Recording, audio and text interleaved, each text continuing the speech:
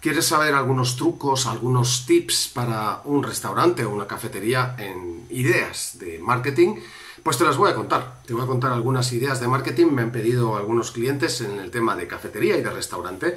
Y creo que, bueno, espero que de estos 7-8 minutos saques alguna para, eh, para, en el caso, tu negocio, si es un restaurante o una cafetería. Entramos en materia.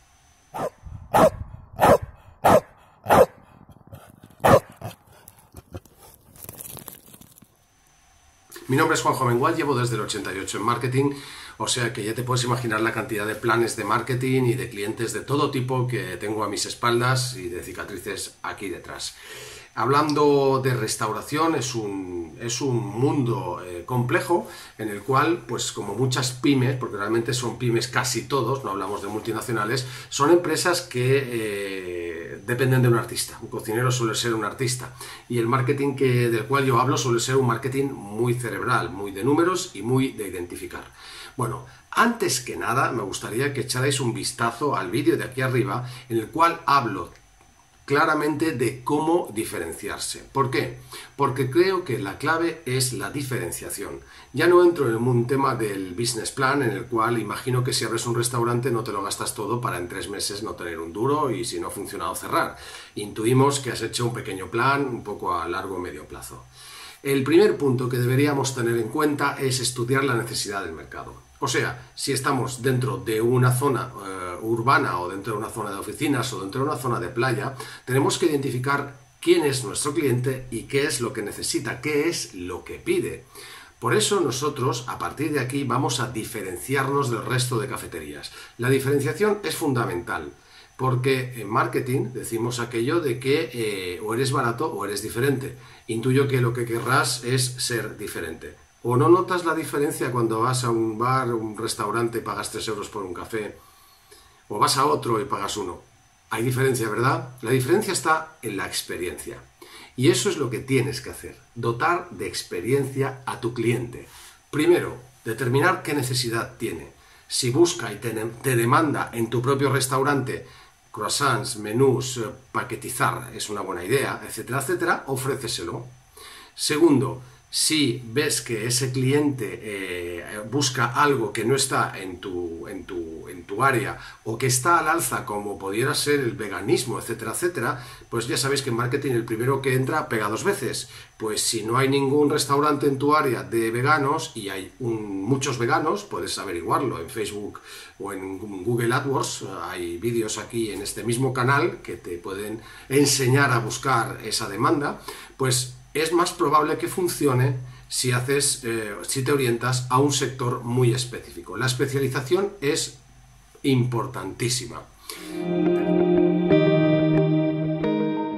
¿Qué tal? Mi nombre es Juanjo Mengual y llevo desde el 88 en marketing dedicándome a orientar a empresas al mundo de las ventas directamente. Eh, lo que hago básicamente es hacer un análisis, un diagnóstico y manos a la obra para que tu empresa, tu proyecto, tu negocio o ese proyecto que vas a emprender eh, vaya orientado directamente a resultados desde el minuto uno. Se trata de ventas, no de likes.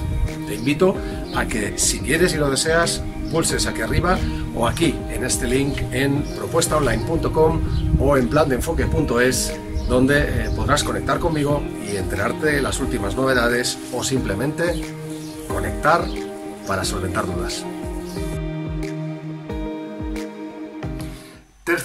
No por eso menos importante, el hecho de que en tu bar el marketing es todo. Es una experiencia sensorial. El ruido, la tele, el, camarero o camarera que vaya sucio, que pregunte, que sonría o que esté hecho un basilisco, que haya luz o haya poca luz, el precio, por supuesto. Ya sabéis que marketing es producto, precio, distribución y eh, también promoción, por supuesto. Vamos a hacer promoción, ¿por qué no? Que se vean, sobre todo la gente que pasa a nuestro lado. Pero luego también hablaremos de la que no pasa a nuestro lado. Porque los baristas, la gente que tiene un restaurante, solo piensa quizás en el medio tradicional o en hacer publicidad. Y no se trata de eso. Se trata de que si yo tengo un restaurante de sushi y estoy en un código postal 07014, Pues para mí es muy fácil hacer una pequeña campaña con 3 dólares o 3 euros, llegar a mil personas que les gusta el sushi en el 07014. Pero también tengo que planificarlo. Tengo que decir, en temas de ticketing, y ahí va el cuarto punto, qué días voy a hacer promociones. Y las promociones son muy sencillas. Eh, que si San José, que si Black Friday, que si llega verano, que no llega el verano, que si llega el invierno, que si llega la, la temporada del colegio, que si ahora llueve, que si ahora no llueve.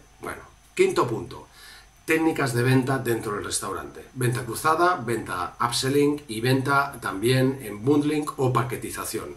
Para ello puedes mirar este vídeo que seguramente te ilustrará en estas técnicas. Te la resumo muy brevemente. Hay una diferencia entre despachar y vender.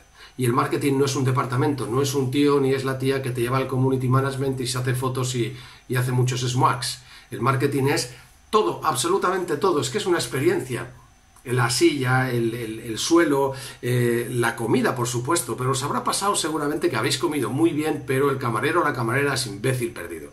Pues la experiencia es mala. Y viceversa. Si la sonrisa y el no te preocupes y esto está malo, te lo devuelvo, y la comida es mediocre, la experiencia es fabulosa, porque el marketing es un juego de percepciones, y la percepción entra por todos los lados. Y la gente quiere sentirse bien, no solamente comer bien ver bien, oír bien, sentirse bien. Vamos a venta cruzada. ¿Qué diferencia hay entre despachar o entre em, vender? La diferencia entre despachar es que alguien entra por el restaurante o la cafetería, buenos días, ¿qué desea? Quiero esto, aquí tiene la cuenta, gracias, hasta luego. La diferencia entre realmente vender y dar valor al cliente es, buenos días, mientras espera quiere tomarse una cerveza, quiere probar este jamón, por ejemplo, que acabamos de sampling que acabamos de cortar. Ah, venga, pues ponme una ración. Ya estamos vendiendo. La cervecita, la ración. Antes de sentarse, les recomiendo esto, les recomiendo aquello. ¿Quieren este vino? Sí. Tenemos otro, Upselling Premium, con dos euros más porque es, es magnífico. Que sea bueno, que no sea en 12. Ya tenemos una segunda venta que no estaba prevista. ¿Quieren postre? No, porque somos muchos, compartimos uno entre cuatro. Venga, hemos puesto un postre y todos contentos. ¿Y el gin tonic? ¿O el whisky? Yo soy de whisky. ¿El gin tonic? ¿Os apetece un gin tonic? ¿El segundo café? ¿Sabéis que el margen tiene un segundo café? Bueno, todas esas acciones y cuando acaben, si queréis tenemos una tarjeta de 10 comidas, a la décima se las regalamos, poner los datos, o enchufaros en el wifi, o participar en este sorteo, o si nos dais los datos os enviaremos una invitación 3x2, los datos. Los datos de tu cliente para enviarle ofertas de valor, no ofertas medio pensionistas. El valor es importante.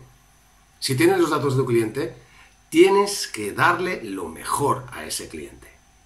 Estas ideas son venta cruzada, etcétera, etcétera, no se improvisan. Tienes que hacer la venta accesoria, tienes que prepararlo. Cuando me pidan una cerveza, voy a dar de ofrecer las setas que acabo de hacer para que luego me pidan el plato. Cuando la verdad es que todos compramos en modo automático. ¿Por qué os creéis que hay pilas y hay chicles en el Mercadona o en las colas en el punto de caja. Tú no vas a ir a comprar pilas y chicles, pero os aseguraría, os aseguro que os asustaría la cantidad de gente que compra pilas y chicles.